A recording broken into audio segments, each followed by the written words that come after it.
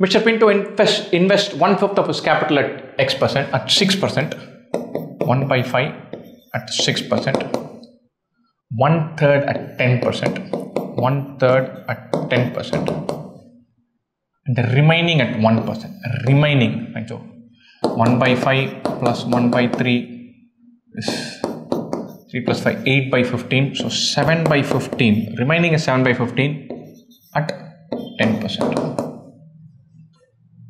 Not 10%, 1%. Sorry about that. I will fix that. Each rate being simple interest per annum, then the minimum number of years required for the cumulative interest income from these investments to equal or exceed this capital. Nice. Find the weighted average interest rate.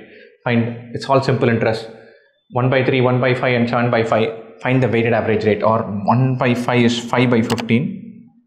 Sorry, 3 by 15, 5 by 15, 7 by 15.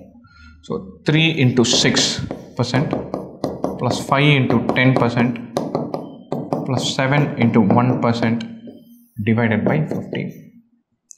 3 into 6 is 18, 5 into 10 is 50, 18 plus 50 plus 7 divided by 15.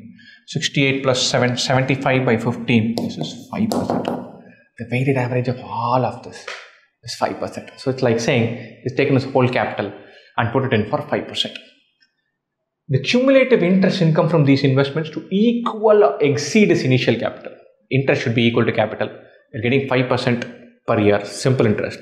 Two years you'll get 10%, three years you'll get 15%, 20 years you'll get 100%.